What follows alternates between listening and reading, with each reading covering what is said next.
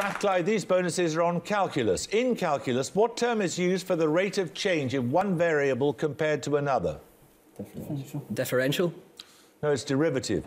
Differentiation is the process of finding the derivative of a function. What is the reverse process called? Integrating. Integration. Correct. Calculus always uses which unit of plane angle measurement? This makes it possible to relate a linear measure and an angle measure. The radian. Correct. 10 points for this.